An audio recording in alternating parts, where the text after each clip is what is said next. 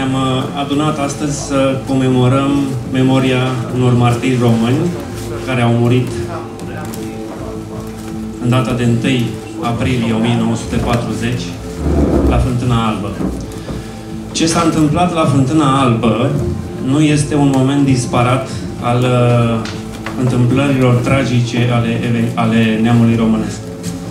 Uh, cumva semnele le, le se pot distinge înainte de 1940, când uh, românii transnistreni încercau să treacă în România, încercând să, scam, să scape de viața din Uniunea Sovietică. Uh, de asemenea, știm anumite momente din istoria României interbelice când bande de bolșevici făceau atentate pe teritoriul României, Uh,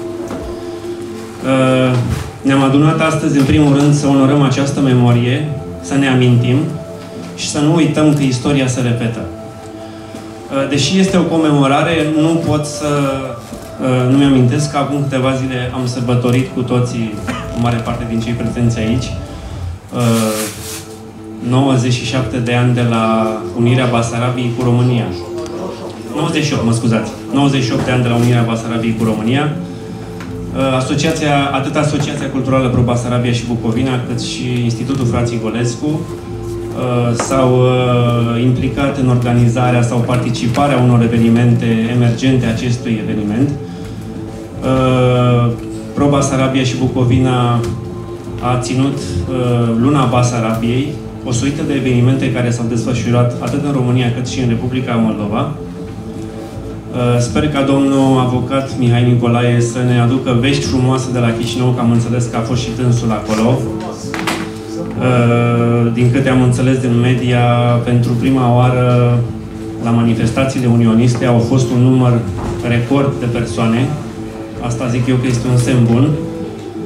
Dar să revenim la comemorarea de astăzi. Uh, după cum observați, în spatele meu rulează o succesiune de evenimente de fotografii, mă scuzați, ale unor români morți, asasinați de NKVD. Ei nu sunt uh, morți de la Fântâna Albă, nu există poze, din câte știu eu, fotografii cu acei morți, dar am considerat că este oportun să uh, vedem uh, imaginea crudă a acestor uh, martiri ai neamului românesc. Uh, ceea ce vedeți sunt gropile comune care au fost descoperite în Basarabia după ce a fost eliberată de armata română. Uh, Fântâna Albă a fost un eveniment care practic uh, s-a repetat la alte dimensiuni, cu alte date. A mai fost masacrul de la Lunca, au fost deportările, au fost foametea din Basarabia, Chiar și după căderea Uniunii Sovietice, pot să spun că această suită de evenimente a continuat cu 7 aprilie 2010. Vorbim tot de o represiune. Uh, salut prezența în sala doamnei Flori Pălănescu, care urmează să ne introducă în dimensiunea tragediei acelei zile de 1 aprilie 1940. Uh, după doamna Flori Bălănescu, probabil că domnul Stânciugel va ne va da câteva detalii mai picante. De asemenea, ă, după această, după prelegerea doamnei ă, Bălănescu, ă, eu sper ca și domniile voastre să participe cu experiențe sau idei personale despre ceea ce a însemnat Fântâna Albă. Dau cuvântul mai departe domnului avocat Mihai Nicolae, care ne va da veștile acelea bune de la Chișinău. Vă rog, domnule Mihai Nicolae. Veștile de la Chișinău, stai că am și niște hârtii. Bună seara! Să împlinesc... Da, vorbim. Eu am uh, două vorbe foarte scurte, ne ocupăm de tot ce trebuie. Uh, Dorian Teodor a spus foarte bine. Am avut un moment de bucurie pe data de 27 martie și atunci am văzut că există o dimensiune a istoriei românești care ne poate da un prilej de bucurie și de încredere, iar astăzi trebuie, cum să spunem mai pe la țară, trebuie să ne plângem morți. pentru că proporțiile dezastrului ale masacrului de, de la Fântâna Albă depășesc o, o, orice închipuire. Am să punctez numai și am să rog pe doamna Flori Bălănescu să ne introducă în uh, tematica grea, apăsătoare, uh, uimitor de, de crudă a masacrului de la Fântâna Albă. E de, menționat, de menționat că anul acesta se împlinesc 75 de ani de la, mas, de la masacru de la Fântâna Albă. Nu se putea să nu comemorăm, nu era posibil să nu ne amintim, să avem un gând pios pentru cei care au fost omorâți nevinomați în uh, condiții de o barbarie neînchipuită. În plus, am, uh, să spunem așa, pentru cine cunoaște subiectul Fântâna Albă, din păcate, domnul Vasile Ilica, primul istoric al evenimentelor de la Fântâna Albă, a încetat în viață în septembrie, la vârsta de 92 de ani. A fost prima lucrare care a fost uh, consacrată, dedicată fel, uh, masacrelor de la Lunca, de la Icești, de la Fântâna Albă și un lucru foarte interesant, a avut un simț al, al timpului care curge extraordinar, în sensul că a apelat la mărturii vii, iar puține supraviețuitori care existau, domnul Vasile Ilica i-a înregistrat, i-a menționat, avem mărturiile lor într-o carte pe care a semnat-o și care e publicată, cred că, în 2005. Deci,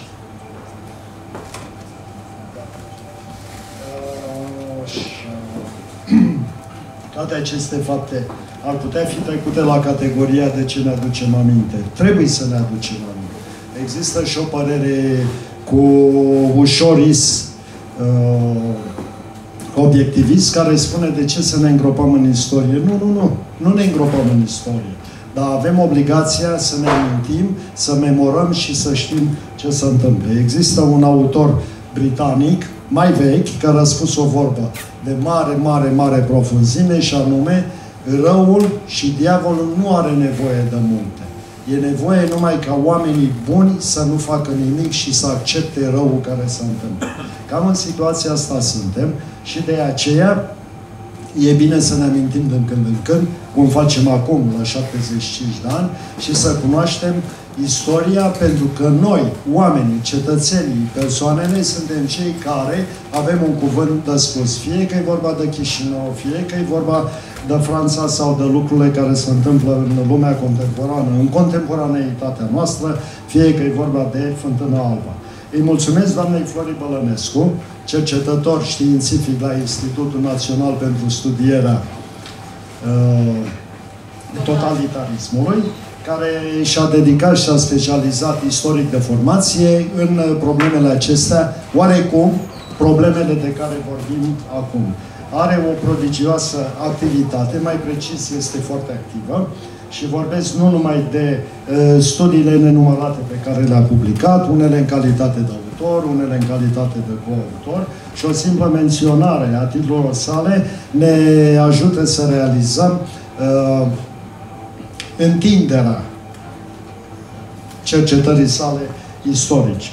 Dialoguri cu Paul Goma și nu numai, chiar și cu ediții, Marele, Paul, Marele nostru contemporan Paul Goma, dialoguri cu arhitectul Budișteanu, fostul arhitect șef al capitalei, care desigur are o experiență extraordinară și o amintiri să ni le povestească, apoi participarea dânsei la enciclopedia regimului comunist represiune, care iarăși, alături de ceilalți coautori ai, uh, ale, ai enciclopediei, ne aduc în față toate proporțiile dezastrului și să vorbiți și de ocupația sovietică în uh, România, documente legate de acea perioadă, cum s-ar spune exact studiile, articole și materiale care ne trebuie să ne înțelegem mai bine istoria. Îmi face plăcere să anunț că domnul ambasador a Republicii Moldova, domnul Mihai Gri Bincea, am zis bine? Aproape. Nu prea înțeleg scrisul. Este prezent împreună cu domnul Emil Jacotă, Iar am zis bine sau am zis scuze? E bine. Ministru consilier în cadrul uh, ambasadei. În ceea ce privește rugămintea lui Dorian a povestit cum a fost la Chișinău, o să o fac cu mare plăcere, mai ales că au fost zile pline, zile frumoase, zile utile, a spune atât din punct de vedere românesc național și din punct de vedere cetățenesc, considerând că în oricare dintre situații și dincolo de orice opinie putem avea sau nu, activismul civic și participarea la viața societății tale este importantă. Doamna Florin Bălănescu, preluați microfonul, fie pe acesta, fie pe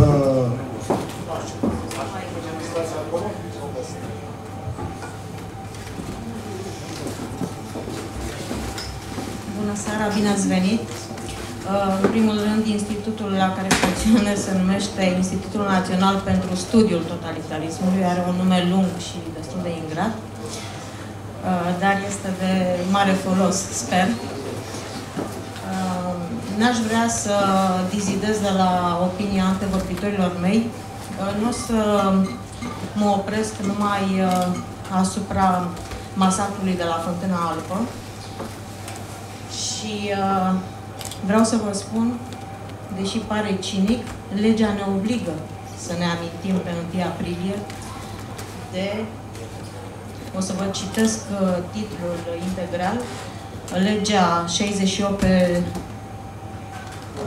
2011 uh, se intitulează pentru instituirea Zilei Naționale de cinstire a memoriei românilor victime ale masacrelor de la Fântâna Albă și alte zone, ale deportărilor, ale foametei și ale altor forme de represiune organizate de regimul totalitar sovietic în ținutul Herța, nordul Bucovinei și întreaga Basarabie. Așadar, am putea vorbi o lună de acum înainte, fără oprire și nu o să epuizăm tematica. Vreau să mă opresc la articolul 3 al acestei legi, care apropo de obligativitate, care spune că în perioada 31 martie-2 aprilie, Societatea Română de Radiodifuziune, Societatea Română de Televiziune și Agenția Națională de Pres, Agenpres, vor difuza cu prioritate emisiuni despre perioada ocupației sovietice din ținutul Herța, nordul Bucovinei și Basarabia, tratând evenimentele tragice menționate la articolul 1. Și uh, în legătură cu conținutul acestui articol al treilea, am și o întâmplare personală. În 2013 am fost rugată de doamna Sorina Man de la Radio România Actualități să particip la un documentar pe tema acestei legi. Și dumnea ei mi-a confesat că se bucură din inimă că există o lege care ne obligă ne obligă pe noi, instituțiile publice, a vrut să spună, să organizăm astfel de evenimente, pentru că altfel domnia sa, deși și-ar fi dorit să o facă din proprie inițiativă, n-ar fi avut intrare, nu mai uh, insist asupra motivelor, dacă n-ar fi fost uh, obligată societatea de radiodifuziune prin lege. Asta cred că spune multe despre memoria noastră și despre felul în care o întreținem sau alegem să nu o întreținem. Uh, documentarul din 2013 a fost difuzat pe 31 martie, se găsește pe internet, poate fi ascultat și se intitulează Odioasa istoria experimentului F, frică, foame, forță. Sigur că această lege a venit uh, târziu, putem să considerăm că a venit cam târziu. E la fel de adevărat că abia în aprilie 2010 adunarea parlamentară a Consiliului Europei a găsit de cuvință să condamne, de exemplu, foametea. Foametea provocată de regimul comunist din Uniunea Sovietică, cu referință directă la Holodomor, așa cum se numește foametea din Ucraina, provocată de sovietici în Ucraina, dar și la foametea din Basarabia, Delegația Republicii Moldova a fost uh, condusă atunci de doamna Ana Guțu, care a subliniat că principalele cauze ale foametei din Basarabia au fost acțiunile inumane, criminale ale regimului stalinist, ale funcționarilor de partid și de stat. O să revin dacă mai aveți răbdare și nu obosiți la foamete. Acum o să încerc să contextualizez puțin uh, masacrul din 1 aprilie 1941. Înainte de 1 aprilie 1941 au mai fost câteva tentative ale românilor bucovineni de a trece în grupuri destul de mari frontiera, de a se retrage în România. Uh, chiar la câteva luni după 28 iunie 1940, după cedarea Basarabiei și Bucovinei, în luna noiembrie, un grup de aproximativ 105 români din zona Suceveni au forțat frontiera. A fost un schimb de focuri. Uh, de data aceasta n-au murit prea mulți oameni, câțiva și de o parte și de alta, uh, dar au reușit să treacă 70 dintre ei granița. Autoritățile sovietice, între timp, au pus uh, la lucru mașinăria zvonurilor.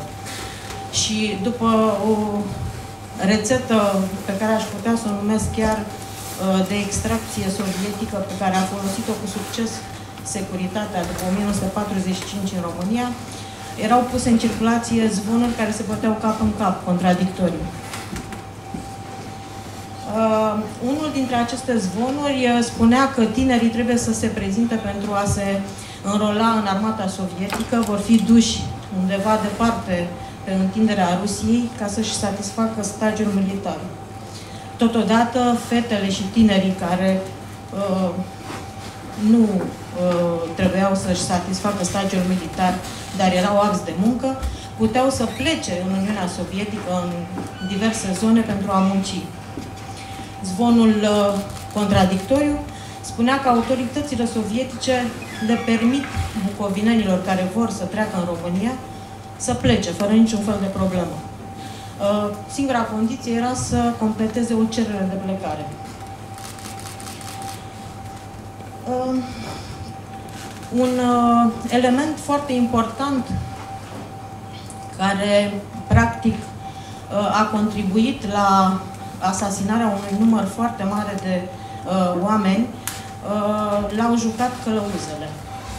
Călăuzele care ar fi urmat să îi ducă în siguranță pe românii bucovineni spre punctele de frontieră, pe acolo unde ar fi putut să treacă uh, fără probleme. Doar că aceste călăuze erau tot oamenii autorităților sovietice. Aici a fost marea păcăleală de care oamenii n-au știut. Um, un uh, alt grup masiv, deci înainte de 1 aprilie 1941 mă refer, uh, a fost în februarie 1941. Este, s-a mai făcut referire aici, este vorba uh, de grupul din Lunga Crutului,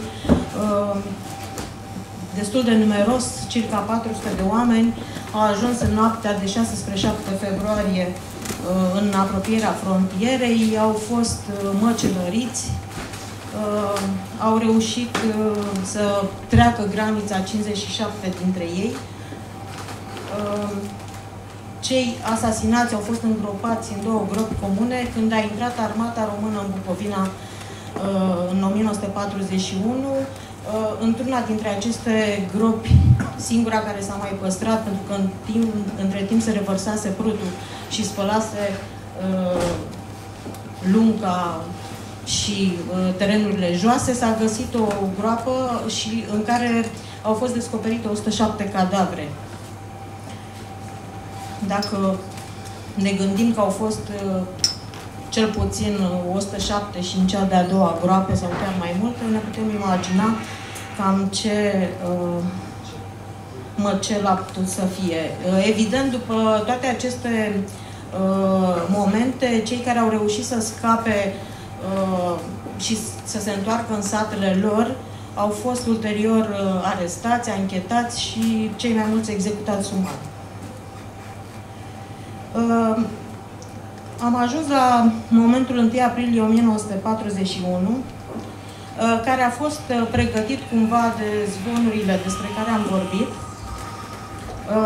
Se pare că a pornit Uh, toată zvonistica uh, de la un secretar de primărie din Comuna Pătrăuți, care se numea Cobel Isidor, dacă e să-i dăm crezare domnului Vasile Ilica, pe care l-ați pomenit și care pare foarte informat, dar dumneavoastră a fost și martor direct. Și care le-a spus sătenilor că a primit telefon de la raion, cum că doritorii să plece în România, să se ducă să depună cereri de plecare. Aș vrea să subliniez că redactarea unei astfel de cereri de plecare costa 10 ruble și se făcea prin baroul de avocatură. Cu alte cuvinte, avocații s-au îmbogățit în perioada respectivă, bucovinenii care au depus cererile au fost asasinați. Așadar, prin uh, luna martie, mai precis în ultima decadă a lunii martie, autoritățile și-au dat seama că au de-a face cu un fenomen care poate deveni incontrolabil. Uh, în uh, acest ritm, satele aveau să se depopuleze și nu era interesul autorităților sovietice ca satele să se depopuleze, pentru că n-avea cine să mai muncească să predea cote. Cotele fiind uh, unul din principalele motive pentru care țăranii bucovineni și doreau să treacă în România, să săturaseră, nu mai puteau să, față, să facă față cotelor, birurilor și uh, tuturor celorlalte. Așa că uh, nemulțumiți, mai ales că s-a zvonit că nu vor mai fi primite cereri de plecare, au format o delegație uh, care să ajungă să vorbească cu secretarul de raion. Au ajuns la secretarul de raion, dar nu au fost primiți. Atunci li s-a spus că vor fi primiți de un personaj mult mai înalt. Uh, domnul Ilica spune că personajul respectiv nu era altcineva decât Vasile Luca, celebrul tartor Uh, de mai târziu de la București, de după 1945, care a încercat cu textele bine cunoscute de propagandă, ce căutați în România, acolo sunt burgheză, moșier și așa mai departe, uh, oamenii și-au dat seama că sunt duși uh, cu preșul, cum se spune, au început să strige jos comuniștii și noi vrem în România. Și atunci, pe 1 aprilie, în ziua de uh, Paște, era duminica, uh, oamenii pornind dinspre Pătrăuți, adunând în drumul lor uh, spre raion uh, oameni din celelalte sate, se spune că a fost o coloană de 2500-3000 de oameni, uh, au plecat să își ceară dreptul. Au fost întorși din drum, au fost refuzați și atunci s-au hotărât brusc să plece spre graniță. Um, după ce au parcurs uh, vreo 8 km, timp de o oră, spune domnul uh, uh, Ilica. Uh, la, în localitatea Suceveni le-a ieșit în cale preotul din, din uh, comună, care a fost scos uh, practic din biserică de către autoritățile sovietice care încercau să oprească această coloană. Preotul le-a spus și ne v-a învățat să faceți acest lucru, nu v-a vrut binele. Și într-adevăr, așa era. Pentru că cine i-a învățat Uh, nu fusese altcineva decât reprezentantul autorităților sovietice. Ei au continuat drumul încă 8-9 km, pe scurt au ajuns uh, pe înserat, întuneric și s-au trezit mitraliați din toate direcțiile. Domnul Ilica spune foc încrucișat, se trăgea din cel puțin trei direcții. Uh, ne putem da lăzni seama că a fost un măcel teribil. Cam uh, aceasta este povestea cu uh, masacrul de la Fântâna Albă. Uh, n-aș vrea să consumăm tot timpul vorbind numai despre Fântâna Albă, pentru că Fântâna Albă, care a fost comparată cu un Catin românesc, știm ce s-a întâmplat la Catin, unde au fost executați mii de ofițeri polonezi de către armata sovietică. Ar, sovieticii n-au recunoscut, n-au vrut să recunoască, au dat vina pe nemți S-a făcut o comisie internațională din care a făcut parte și România. Din delegația României a făcut parte medicul uh, Alexandru Bircle, a cărui familie a ajuns toată în închisoare pentru că el s-a ascuns și soția și fica lui au făcut pușcărie din acest motiv. Uh, și a fost foarte clar că fusese asasinați de către sovietici, nu de către germani. Suntem cam în aceeași situație și aici, pentru că sovieticii n-au recunoscut niciodată că ei ar fi autorii masacrului de la Fântâna Albă. Uh, a fost de asemenea uh, uh, catalogată drept o manifestare a demnității umane. Nu sună foarte impresionant, dar uh, sună foarte potrivit. Este o expresie a istoricului Vitalie Vărati, care ne-a fost mulți ani coleg la institut și care este basarabean originar din Basarabia istorică din sud, actualmente în Ucraina. Uh, dumnealui o consideră o manifestare a demnității umane pentru că bucovinenii, spre deosebire de basarabeni, nu au avuseseră niciodată în istoria lor de a face uh, cu ocupația țaristă și ulterior sovietică. Practic, cum spune unul dintre martori, ne-am culcat seara români și ne-am trezit dimineața sovietici, după 28 iunie 1940. Uh, ei veneau uh, din alt univers cultural, uh, din stăpânirea austriacă, după cum bine știm, uh, aveau alt nivel de cultură, acesta este adevărul, uh, și nu se așteptau la ce, uh, uh, la ce s-a întâmplat după 28 iunie 1940. Nu știau nimic nici despre colectivizările din URSS, absolut nimic. Dacă basarabenii știau, bucovinenii nu știau. A fost un impact emoțional uh, și moral nemaipomenit pentru bucovineni. Ce nu știau bucovinenii și de altfel cred că nici basarabenii nu știau uh, la momentul 1 aprilie 1941, pentru că probabil nici n-ar mai fi pornit spre frontieră, este următorul lucru. Că pe 8 martie 1941, Prezidiul Consiliului Superior al Uniunii Sovietice dăduse un decret prin care stabilea cine este considerat cetățean sovietic.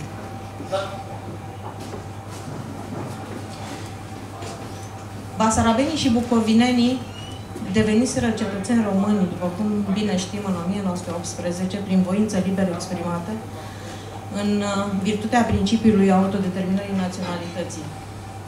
După 28 iunie și mai ales după 8 august, după acest decret, nu le-a explicat nimeni acest lucru și mai ales nu le-a pus nimeni la dispoziție posibilitatea de a opta. Există domnul uh, avocat, poate că știe și înțelege mai bine, în dreptul internațional, această speță. Au fost luați, cum se spune, cu japca și făcuți cetățeni sovietici. Uh, de ce uh, au fost împrăștiate, zic eu, acele zvonuri contradictorii în Bucovina? Pentru că autoritățile voiau uh, să testeze starea de spirit a bucovinenilor. Și nu întâmplător, asta s-a întâmplat în martie, după decretul din 8 martie. Au vrut să vadă cât de loial sunt bucovinenii patriei sovietice. Nu și-au dorit ca ei să plece și mai bine decât să plece, mai bine să-i asasinăm, nu? Și i-au asasinat. Acest uh, decret din 1941 despre cetățenie uh, a stat și la baza articolului 5 al Convenției de Armistițiu din 1944, potrivit uh, căruia statul român avea obligația să repatrieze, îl luăm cu ghilimele, să repatrieze uh, cetățenii sovietici în Uniunea Sovietică. Cine erau cetățenii sovietici, după cum îi considera Moscova, de pe teritoriul României? Nu erau alții decât refugiații basarabeni și bucovineni. Uh, am și niște cifre, care evident că nu sunt complete. Uh, până în primăvara anului 1944 se refugiaseră din uh, calea armatelor sovietice în România 82.580 de basarabeni și 32.958 de bucovineni. Aceștia erau înscriși în evidența planului de evacuare. În afara uh, acestor evidențe au mai fost alte câteva zeci de mii care s-au sustras evidențelor. Cei care au trecut uh, pur și simplu cu căruțele în marea febră a întrebării dacă s-a închis podul sau nu, dacă mai putem trece sau nu, cum s-a întâmplat cu foarte mulți și există foarte multe mărturii. Uh, am uh, gândit așa pentru dumneavoastră, pentru, special pentru ziua de azi, și o piramidă a suferințelor și terorii. Dacă mai avem timp, uh, voi explic mai târziu. Aș vrea să spun câteva cuvinte despre rolul memoriei ca substanță pentru dobândirea și păstrarea identității și conștiinței de sine, atât uh, a conștiinței individuale, cât și a conștiinței comunitare. Larisa Turea, care a scris o carte intitulată Cartea Foametei, spune că țăranii basarabeni au fost condamnați cu bună știință la înfometare din două considerente, ca dușman de clasă, dar și ca etnici români, trădători și aliații Germaniei naziste. Alexei Vakulovski, un profesor de limba și literatura română din Antonești, din Basarabia, care a strâns un volum de mărturii cu supraviețuitori ai foametei din 1946-1947 din satul său, volum de care de altfel m-am și îngrijit ca să apară, spune așa, ei sunt copiii războiului și ai foametei, sunt cei care au avut tăria, curajul și norocul să înfrunte acel coșmar și să rămână oameni. De la ei am avea încă multe de învățat, dacă timpul nu le-ar fi dușman. Ei nu acuză, ci povestesc. Și uh, pentru a avea mai multă coerență și să nu mă mai bâlbăi atât, uh, am uh, imprimat un fragment dintr-un text al meu apărut în Enciclopedia Represiunii Comuniste pe care a amintit-o domnul avocat. Uh, este un fragment dintr-o voce care se intitulează Înfometare, și care se referă uh, pe larg la tot ce ar putea să însemne înfometare și foamete în regimul comunist din România și am inclus aici și Basarabia. Memoria colectivă a înregistrat pentru desemnarea situației din 1946-47, care a durat aproape 10 luni, termenul foamete. Nu întâmplător, Stalin a pus în practică înfometarea românilor basarabeni în timpul desfășurării procesului de la Nürnberg, în care au fost judecați criminali de război, naziști, pentru a da un exemplu fasciștilor români, fasciști cu ghilimelele de rigoare. Foști aliații ai Germaniei și ai pedepsi. Marea foamete a fost o încercare criminală planificată de către statul sovietic pentru reeducarea colectivă prin fometarea milioane de oameni.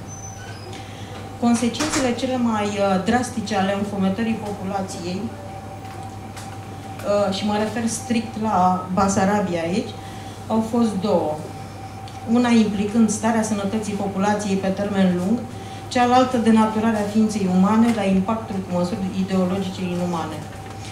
Prima, să o numim, a fost distrofia, datorată consumului de ierburi, troscot, știr și așa mai departe, frunze, rădăcini, Conform unor date parțiale stabilite de instituțiile de sănătate publică, la 25 decembrie 1946, în RSSM erau înregistrați 53.000 de distrofici, al căror număr a atins la 1 februarie 47 190.000, iar la 1 martie deja 238.000. În decembrie 47, în câteva raioane ale Republicii Moldova, cota distroficilor atingea între 25 și 30% din populație, iar în alte locuri, cu precădere în raionul Cimișlia, numărul lor atingea până la 80% din populație. A doua categorie de consecințe, mă scuzați, de consecințe este antropofagia. O reacție extremă datorată imposibilității de a mai găsi ceva comestibil în vederea conservării biologice unul dintre martorii acestui fenomen a fost chiar Alexei Kosygin, care a văzut într-o casă din preajma Chișinăului cum era pregătit un cadavru în vederea consumării lui. În 1949, supraviețuitorii înfometării au început să fie ridicați de autoritățile sovietice și deportați în Siberia. Erau reluate astfel planurile de dinainte de foamete, Măsura deportării a zeci de mii de familii basarabene a făcut parte din planul de înfrângere a rezistenței la colectivizare. Foametea din Basarabia a cunoscut cazuri extreme în care ființa umană a fost împinsă spre limitele de jos ale conservării biologice. Spaima, frica, oroarea, angoasa au determinat ștergerea dimensiunilor sociale și culturale din comportamentul oamenilor. Această realitate terifiantă este sintetizată de un supraviețuitor al uh, înfometării la care au fost supuși indezirabilii din Uniunea Sovietică, închiși pe insula Nazino din Siberia. Uh, voi, el spune așa, este citat de istoricul Nicola Vert în uh, cartea Insula Canibalilor. Și supraviețuitorul respectiv a formulat așa. Voi infometați poporul. Ei bine, noi ne mâncăm unii pe alții. Pare literatură și dacă este literatură, atunci este una de coșmar. Din păcate, este realitate. Scenariul înfometării fabricat în laboratorul ideologiei comuniste de la Moscova a fost unul criminal, inuman și a împins cinismul social și politic până dincolo de orice limită a verosimilului. Înfometarea practicată de URSS a fost un adevărat genocid de clasă. Uh, o spun uh, istorici occidentali, nu puteți să vedeți ghilimelele, vi le spun uh, Marea foamete a fost conjugată cu alte proiecte ideologice, cu marea teroare, lichidarea masă a elitelor din teritoriile ocupate, cu deportările, măsuri copiate ulterior la scări diferite și cu note specifice în funcție de zonă și țară, de către noile democrații populare instaurate în Europa, inclusiv de România. Cercetătorii Joel Kotek și Maxim Steinberg compară tipurile de ideologie comunistă și nazistă din perspectiva dreptului juridic și al drepturilor omului. Astfel, cum am putea să nu comparăm sutele de mii de copii morți de foame pe de o parte în ghetourile din Europa de Est, pe de alta în satele ucrainene. În ambele cazuri, trebuie să vorbim despre crime de masă sau adoptând terminologia Tribunalului de la Nürnberg de crime împotriva umanității. Crimele împotriva umanității, după cum știm, nu se prescriu. Uh, aș vrea să vă citesc titlul integral al unei cărți scrise de un supraviețuitor al Holodomorului, al foametei din Ucraina, care a ajuns profesor în California și care semnează cu un pseudonim Miron Dolot. Sau Dolot, nu știu cum se pune accentul. Uh, cartea se intitulează Executați prin înfometare Holocaustul ascuns. Șapte milioane de oameni din grânarul Europei au fost lăsați în mod deliberat să moară de foame la ordinul lui Stalin. Fapta a fost trecută sub tăcere vreme de o jumătate de secol. Acum, un supraviețuitor vorbește. Este atipic pentru o carte să aibă un titlu uh, cât uh, chintesența unui tratat de istorie, dar este foarte bine pentru că atrage atenția. Când vezi o astfel de carte, nu poți să nu o cumperi și să o citești. Uh, dacă mă mai îngăduiți uh, puțin, uh, m-am gândit cum să abordez azi tema dezbaterii noastre și atunci mi-am imaginat o piramidă, o piramidă pe care am numit-o a suferințelor și a terorii. Și uh, m-am gândit că la baza ei, la primul nivel, uh, ar fi populația în regimul comunist deposedată de drepturi. Populația așa cum este ea uh, noaptea democrată și a doua zi trezindu-se în totalitarism, adică chiar primul uh, nivel.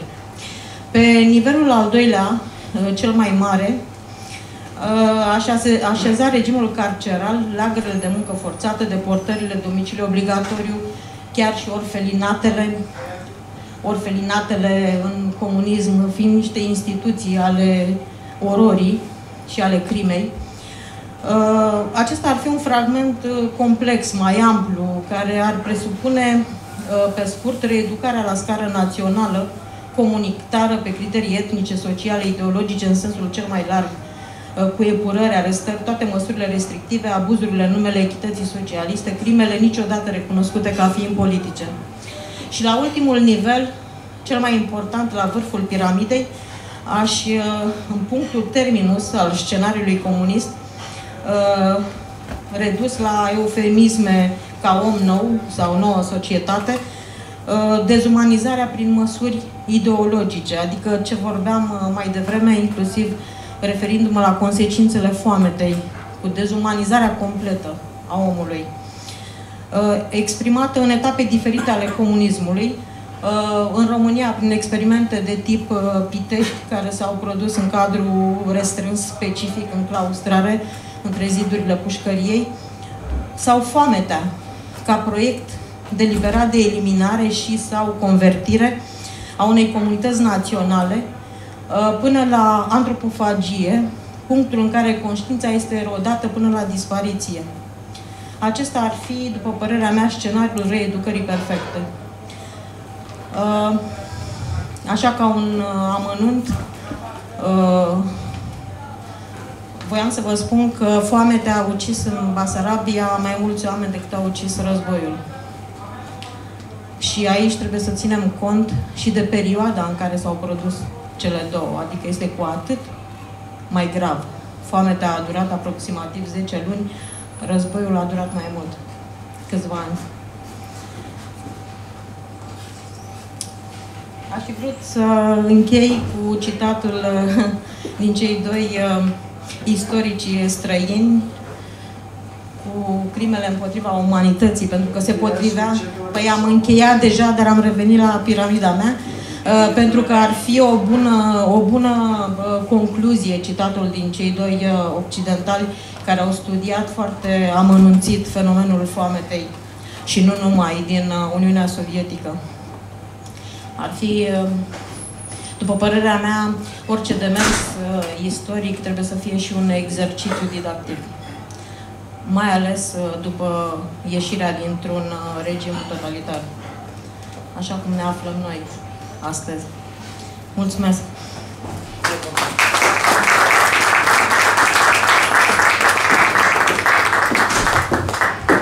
Mulțumim doamnei Flori Bălănescu.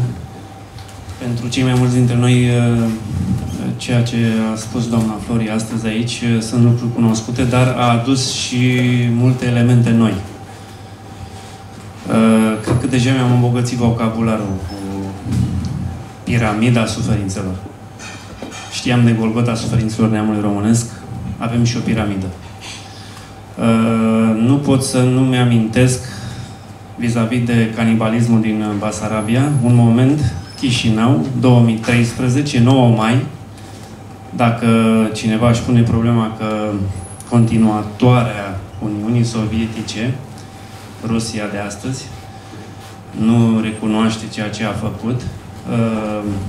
Uh, la 9 mai, ziua Victoriei, a, a organizat un concert la Chișinău și, din câte știu, se afla în spatele organizării unui meeting în care s-au aflat și s-au afișat benere pe care scria Moarte canibalilor români. Nu coment. Deci atunci Federația Rusă știe că când are de transmis un mesaj cinic, știe că acolo se află români între, în spațiul dintre Prut și Nistru. Altfel uh, vorbește de națiunea moldovenească, de statalitate. Dacă mai sunt persoane care pot să... Da, sigur, domnul avocat Mihai Nicolae. S-a vorbit aici de partea juridică s-a făcut ceva mai mult sau mai puțin. Cel puțin pentru spațiul nostru nu s-a făcut, nu s-a făcut uh, uh, mare lucru. Într-adevăr, e nevoie de o cercetare, de puținul care l-am strâns, pentru că nu avem lucrări care să grupeze tot, totuși această problematică și, sigur, să aibă o analiză obiectivă, echilibrată acestor urări și să nu adauge numai, știu, uh, senzaționalism. Dar din uh, puținul care l-am putut afla, bunoara, vă dau două elemente și le apreciez singur. Pe data de 28 iunie se produce ultimatum, atât Basarabia, Herța și Bucovina trec în uh, puterea sovietică. Asta se întâmplă pe 28 uh, iunie. Ei bine, în februarie deja trec la Uh, sancțiuni în sensul că sunt duși în fața Tribunalului Poporului cei care au încercat să treacă graniță și cu acuzația de trecerea frauduloasă a frontierii de stat a URSS-ului. Este evident că o populație care era îndurerată, zăpăcită, bulversată de toate schimbările istorice, nu putea să asimileze atât de bine conștiința frontierei de stat a URSS-ului. E cum am vorbit de, uh, cum să spun, asimilarea unui somalez căruia îi cer să respecte cultura română sau cultura albaneză sau cultura poloneză. De asemenea, în urma masacrului din satul Lunga, din 7 februarie 1941, iarăși nu avem decât câteva luni de la ultimatum și de la raptul teritorial, sunt condamnați supraviețuitorii pentru că o parte din ei, încercând să treacă în România, au fost mitraliați, iar uh, cei care au supraviețuit s-au ales cu hotărâri judecătorești. Și anume, 12 au fost condamnați la moarte, 38 au fost condamnați la 10 ani. Pentru ce? Pentru trădarea patriei sovietice. E imposibil să le cere acestor oameni, ca și episoadele retragerii din, uh, din, uh, de pe frontul de est din Basarabia, imposibil să le cer să nu aibă o reacție normală de neam colectivă la toate peripețiile prin care uh, au fost nefericite prin care au trebuit să facă. E bine să ne amintim cu această ocazie, de fapt, a unui tânăr jurist, iarăși puțin cunoscut, este vorba de Alexandru Danielopol, 27 de ani avea, iar în 1947 uh, era în Comisia de Armistițiu ca jurist. În această comisie de armistițiu, la un moment dat, sovieticii au avut o idee pe care au abandonat-o, uh, au avut mai multe idei toate nefericite. Una din ele era ca toate femeile care se căsătoriseră cu cetățenii ai României legale să fie condamnate, iar divorțurile să fie anulate.